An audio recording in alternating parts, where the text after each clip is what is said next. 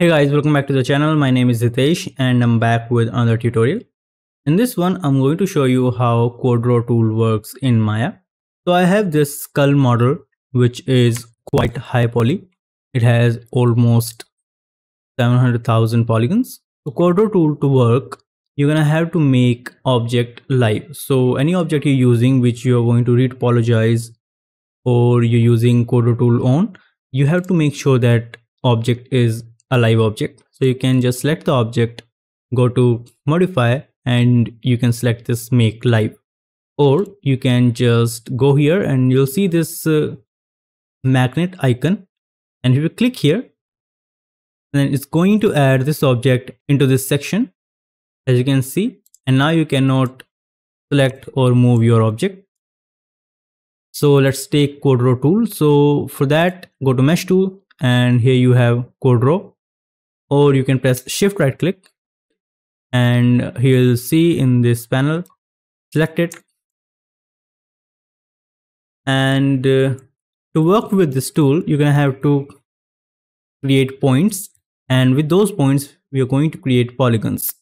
So if i create four points like this and press and hold shift it's going to show the polygon shape here. And if i press left click, it's going to convert those point to a polygon. You can create as many point as you want. So if I create two points here and press shift, then you see we have a polygon with only two points because we have a plane nearby. So it's going to attach this polygon to the nearest face and we can create another polygon with just two points. So if you want to extend this edge, so you can just press and hold tab and click on this edge, then bring this down and it's going to extrude this part and create another polygon. And if you want to extrude this entire edge, you can press and hold tab and use your middle mouse button and it's going to extrude the entire thing like this.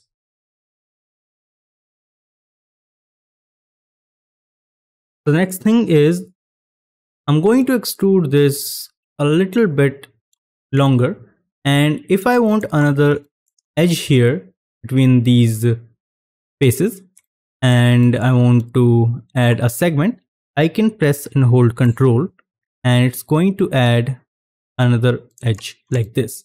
And as you can see that when we added an edge the topology automatically adjusted and to relax the vertices and optimize your edges you can press and hold shift and then press left mouse button. And it's going to just relax the vertices like this.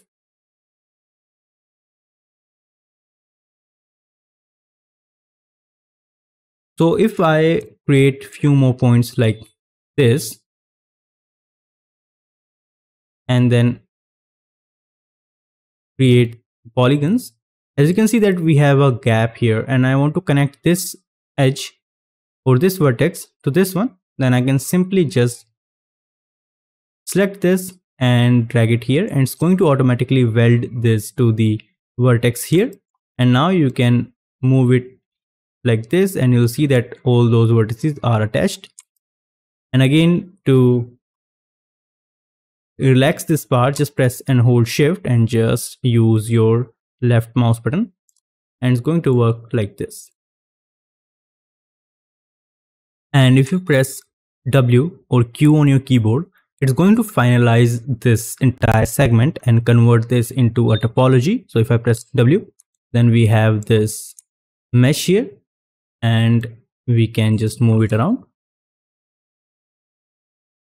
and you can extrude this. So if you are making a cybernetic or cyberpunk kind of model you can use photo tool to create implants on the character's face like this. And this tool is widely used to retopologize your mesh and to disable the live object. Just go here and again click on this magnet and it's going to turn the live off and you can use your mesh again So I hope you enjoyed this video and if you did then make sure to drop a like and subscribe to the channel if you are new. I'll see you in the next one. Thanks for watching.